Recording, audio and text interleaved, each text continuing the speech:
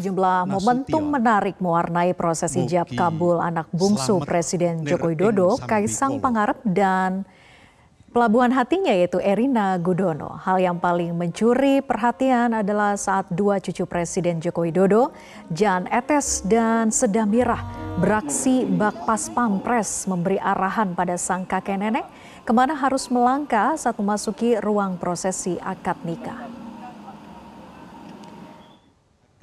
Yang juga membuat gemas tamu undangan yakni momen Jan Etes dan Sedamira menjadi petugas pembawa cincin pernikahan.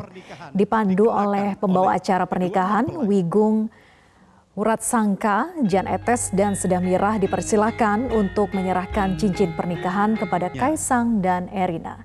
Jan Etes dan Sedamira pun berjalan beriringan membawakan cincin pernikahan yang telah dihias bunga Jan Etes, putra sulung Gibran Raka Buming Raka dan Sedamira, putri sulung Kahiyang Ayu berjalan sambil melemparkan senyum. Selain memiliki Ditunjuknya kedua cucu presiden tersebut bukan semata untuk membuat gemas suasana, namun ada makna di baliknya.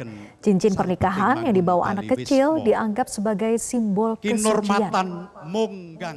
cincin pernikahan Selain itu hal menarik lainnya saat prosesi ijab kabul Kaisang Pangarep dengan Erina Gudono.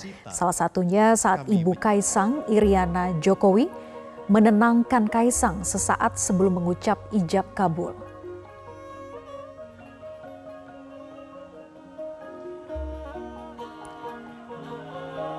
Sementara itu Kaisang pun tak kalah membuat tamu undangan tertawa demi mengusir ketegangan.